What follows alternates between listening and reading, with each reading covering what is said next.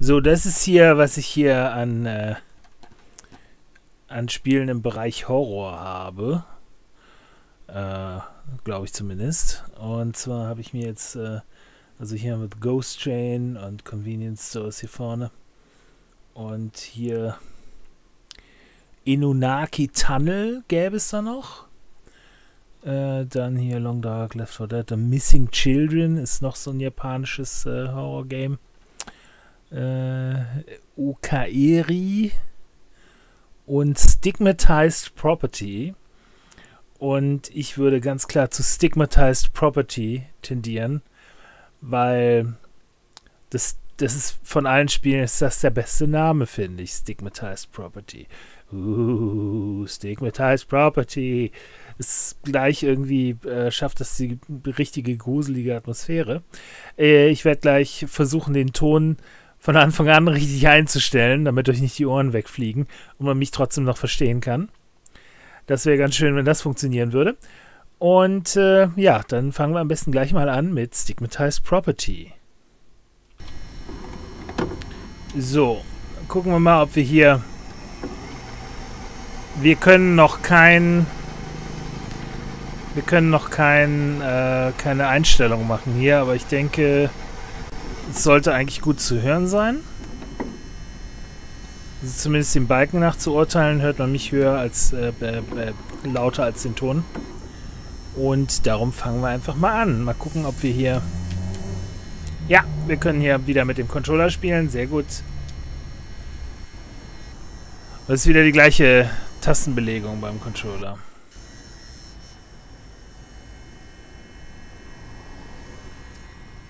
Okay.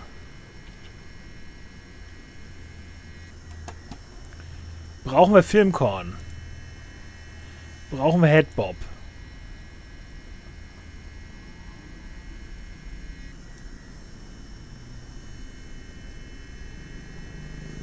Es ist immer noch ziemlich dunkel jetzt. Und man kann Pause machen. Endlich kann man mal Pause machen hier. Wie ich die ganze Zeit. Also ist Filmkorn Filmkorn gefällt mir nicht. Headbob gucken wir mal, ob das schlimmer Headbob ist wie in dem Convenience Store, dann lassen wir es vielleicht weg. Aber wenn das so ist wie...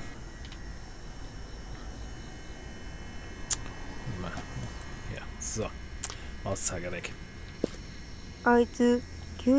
Warum kommt er plötzlich nach Hause? Meine Güte, es ist sogar Deutsch. Wer kommt plötzlich nach Hause?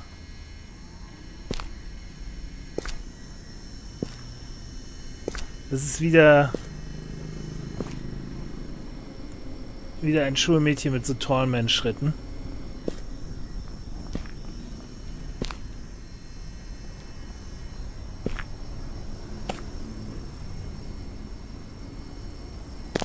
Okay.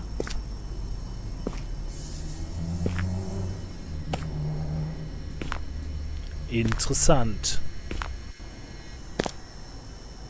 es ist sehr schwierig.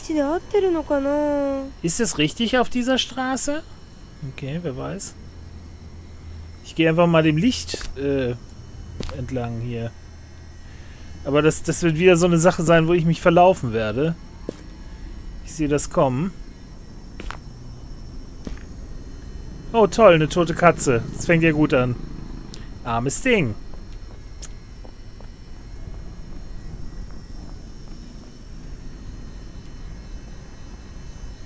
wo komme ich her? Komme ich hierher?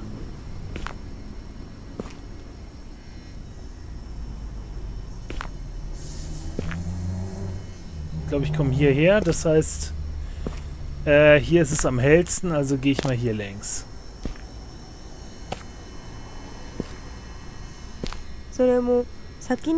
Sie sagten, Sie waren zuerst im Haus, aber haben Sie Teilzeit gearbeitet? keine Ahnung, worum es geht hier. Ich weiß noch, das ist ein äh, Property mit einem Stigma hier. Das Stigma ist hässliche Froschblumentöpfe. Den Mini kennen wir doch auch. Das ist doch der Typ, der in dem der in dem Convenience Store arbeitet. Okay.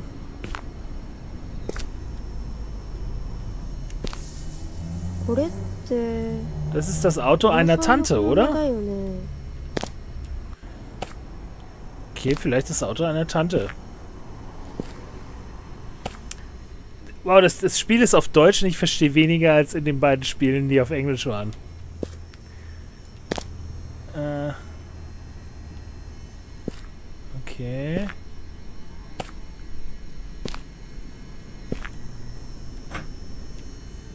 Wo ist denn jetzt mein Property? Was so stigmatisiert ist. Muss ich hier hochgehen?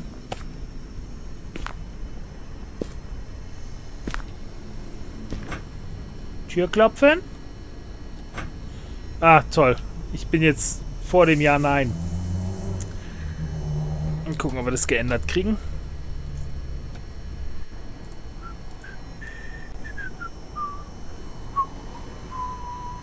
So.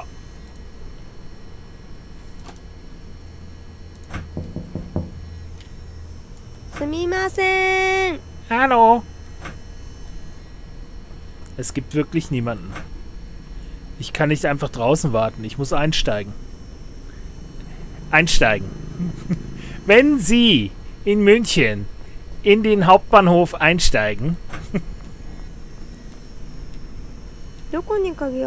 hat er nicht gesagt, dass, er irgendwo ein, dass es irgendwo einen Ersatzschlüssel gibt? Ich vergesse aber wo. Ist meistens hier unter dem Blumentopf? Oder unter dem Blumentopf? Oder oben drauf hier? Unter einem Zitronenbaumtopf. Ist das ein Zitronenbaum?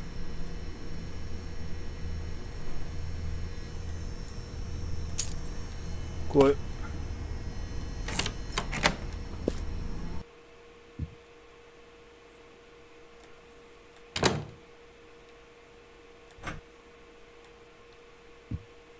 Warum ist die Tür zu? Wenn das mein neues Property ist, was ich gemietet habe, dann möchte ich bitte auch alle Türen aufmachen können. Das ist meine makellose Küche, also das muss ich ja echt zugestehen hier. Nice. Mit Ceran.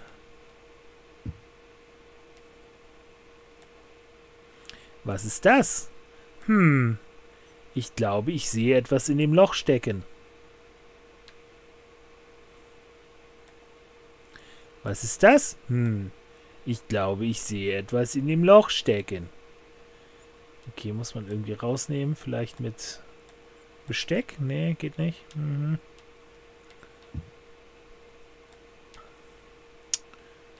Äh.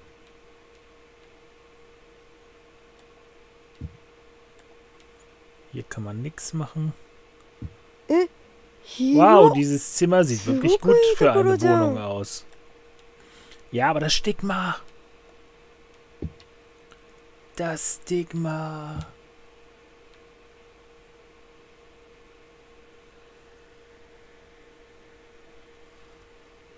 The Hongkong Hongkong Japanese Fairy Tales. Okay, das kann ich lesen. A Tale of Night and Other Stories. The Irgendwas Garden. Und Delemon. Okay. Hier liegen auch noch Bücher rum. Donuts. Sehr gut.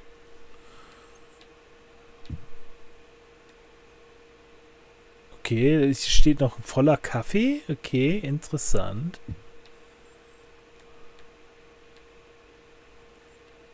Hm.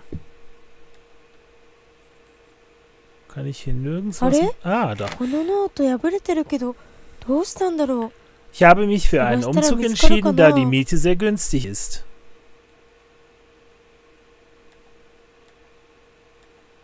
Okay, 0 von 7. Ich muss hier 7 Sachen finden, oder was? Okay, so sehe ich also aus. Interessant.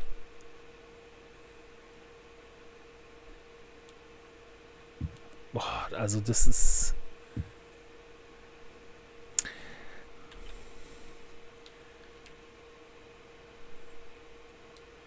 Kann ich das hier.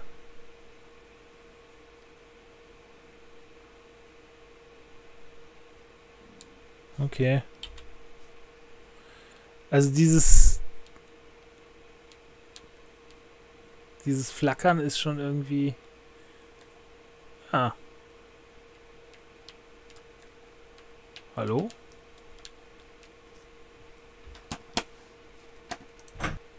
Ah, gut. So, kann man hier oben irgendwas aufmachen oder so? Nee, aber man kann hier vielleicht Haken benutzen. Ja.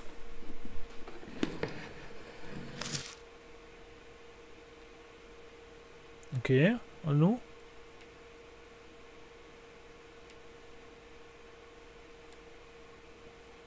Durch das Loch schauen. Ja.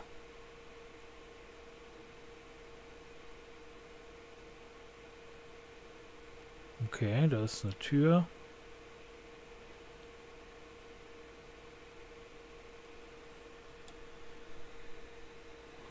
Und was immer das ist. Keine Ahnung, Holzspielzeug, Marimbas.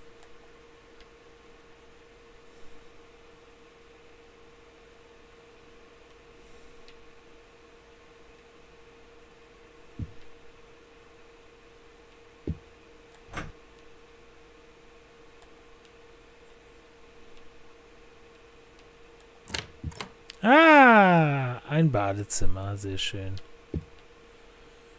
Äh.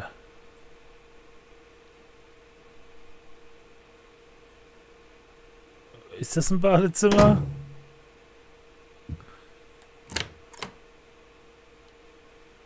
Also hier ist eine Dusche. Eine Badewanne.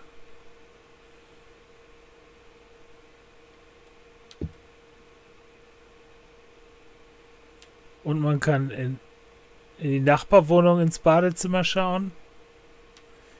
Okay.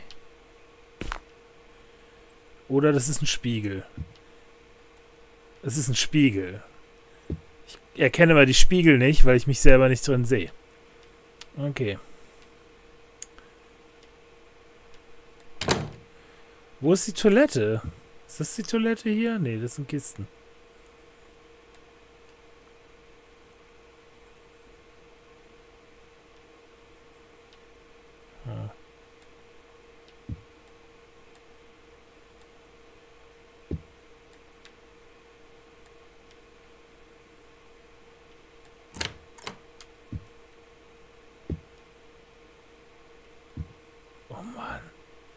Dieses Geflirre macht einen wahnsinnig.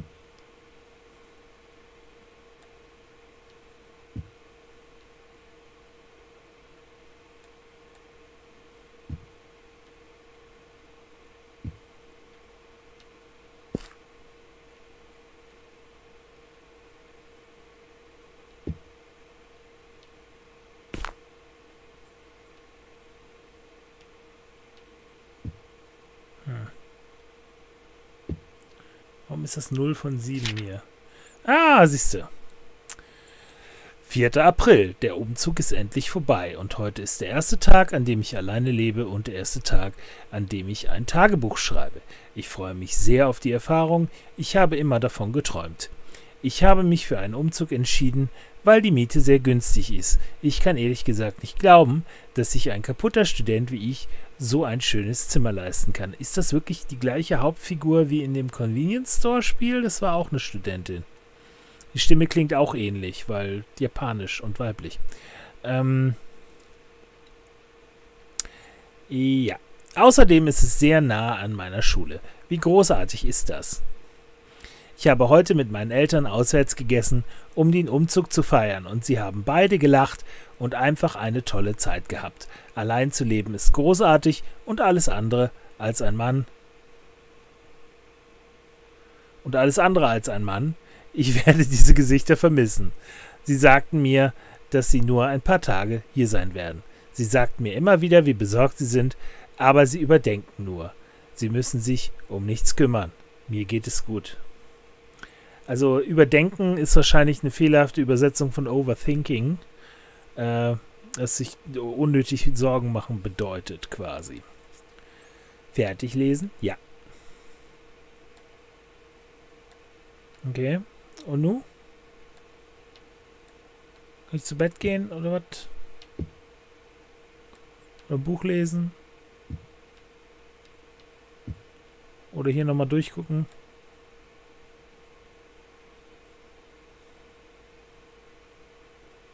Hat sie nichts geändert hier, okay.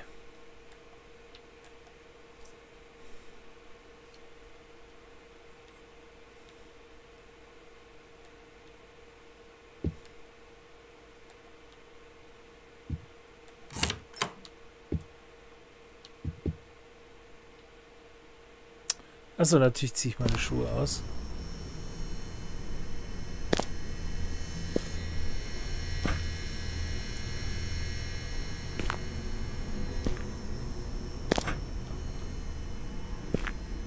Oh.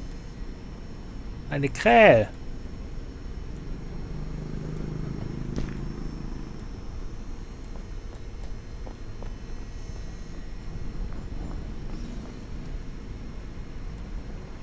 Muss ich dir was zu essen geben, oder was?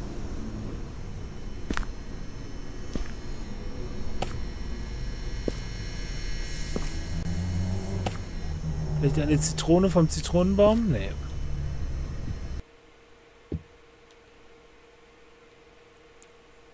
Ein Donut? Kann man immer noch nichts aufmachen? Ist auch nichts zu tun irgendwie. Hier drin vielleicht doch.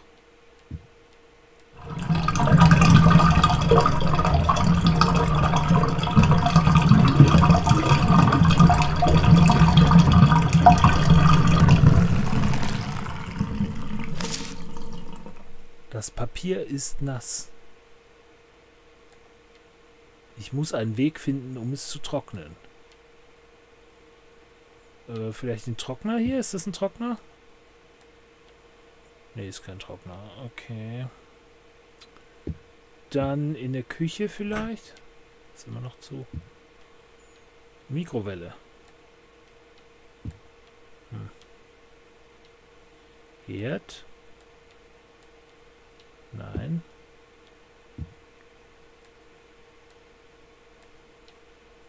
Wo ist denn der Heizkörper? Gibt es hier einen Heizkörper?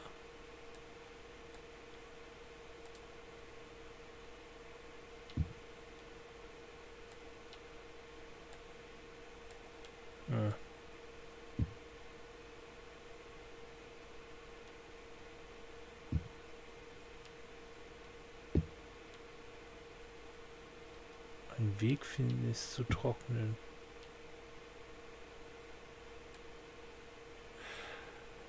Ach so, man findet Notizen und die muss man dann lesen und dann erfährt man was über über die Lokalität hier. So läuft das also. Okay. Warte, ich muss mal eben hier.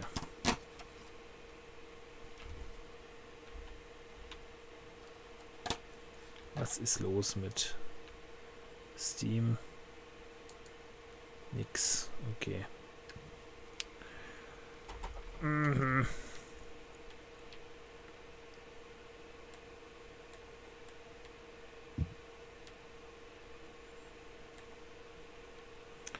Ja, wie trockne ich das? Was liegt das? Hier unten liegt da auch noch was. Was ist das? Achso, das ist ein Stück von der Decke. Vielleicht in die Lampe tun? Nee.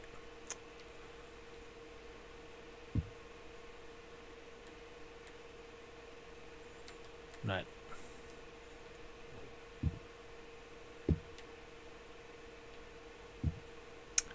Warte mal, ich habe hier doch einen Föhn, oder? Ist hier irgendwo ein Föhn? Bin mir ziemlich sicher, da war ein Föhn. Da.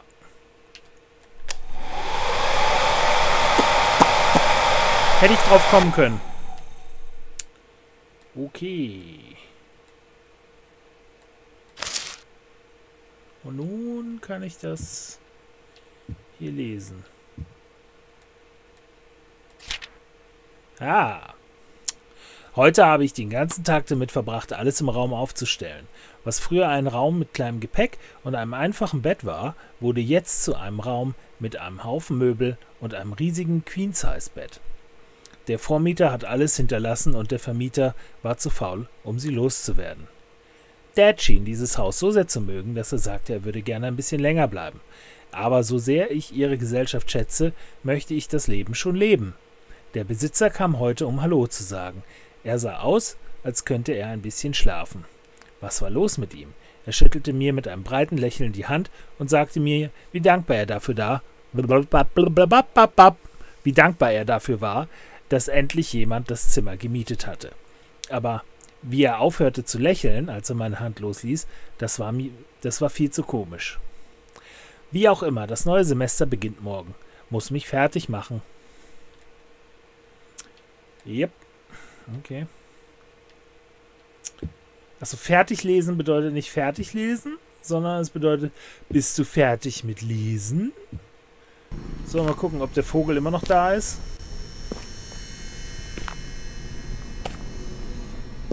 Hallo, Vögelchen, Piep.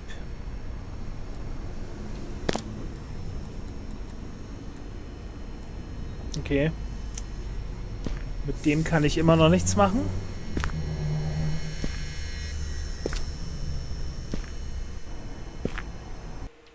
Muss ich hier ja noch irgendwo was finden.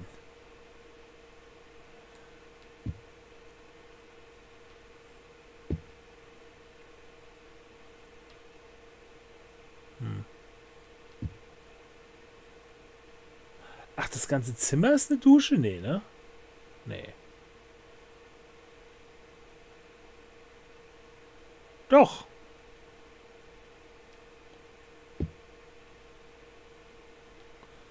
Okay, also ich bin froh, dass ich hier nie, nie Urlaub in Japan gemacht habe, ohne, also äh, ich, ich wäre vermutlich hingefahren, ohne mich vorher sachkundig zu machen, weil äh, dass es so Unterschiede in den Badezimmern gibt, habe ich schon irgendwie gewusst. Aber dass das so verbrannt, frappant ist, äh, hätte ich jetzt noch nicht gedacht. Ich finde mich da ja gar nicht zurecht. So, nehmen wir mal einen Donut und tauschen mit der Krähe. Ne, die Krähe will scheinbar keinen Donut. Was ist das hier? War ich hier schon? Da, da, da. Hm. Wo geht's denn weiter hier? Fernbedienung, Kaffee.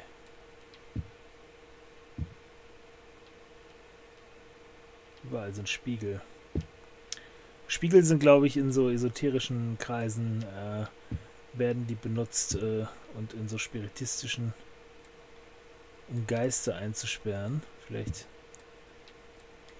entwickelt sich die Handlung des Spiels dahingehend. Ich weiß nicht.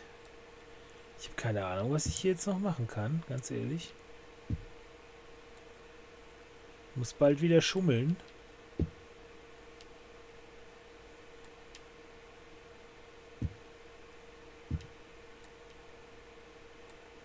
Hier vielleicht ist das auch so ein so eine amerikanische Spüle mit Häckselmaschine drunter. Nee. Okay, gucken wir hier nochmal rein. Wir haben ja jetzt einen neuen Text gelesen. Vielleicht ist da was anderes zu sehen jetzt.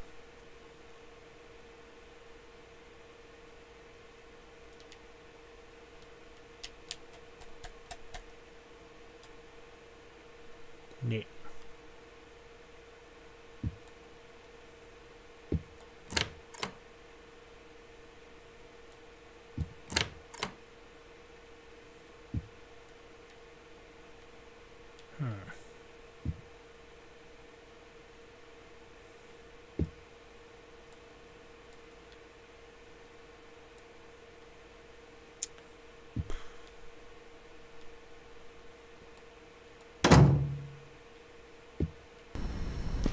was ist das?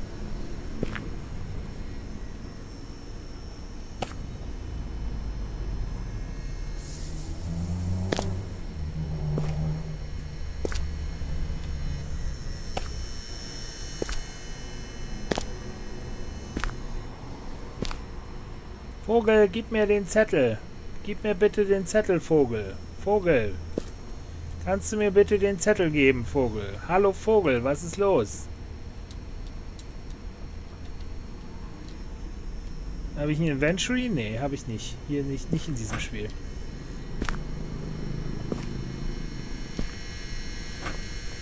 Hm.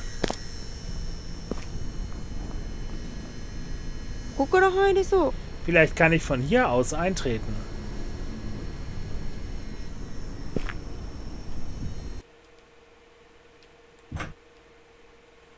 Aha, ja, vielleicht kann ich das.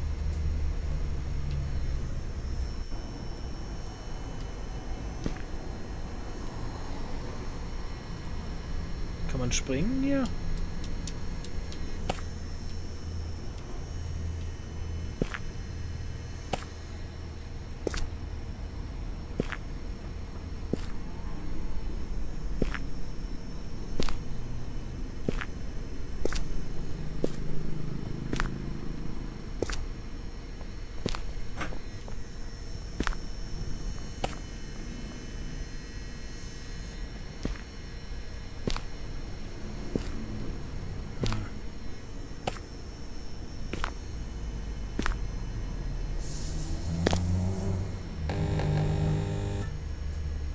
Fenster klopfen? Ja. Hallo? Bist du in Ordnung? Warum steht er nur da?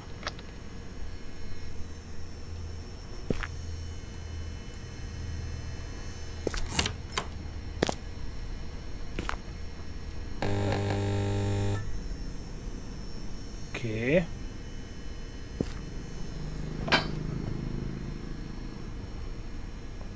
Oh, da ist noch ein Zettel. Kann ich aber jetzt nicht nehmen. Okay. Äh, da ist das. Ich muss sagen, dass mit diesem Licht, das ist sehr äh, irritierend. Okay.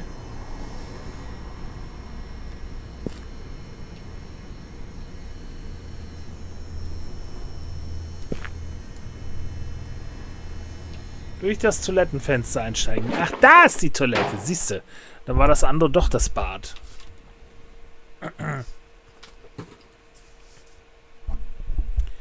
Sehr gut. Dann wissen wir auch, was mit der Toilette los ist. Das ist wieder so eine japanische Toilette, wie man sie kennt, ja. So. Und die Tür ist offen, sehr gut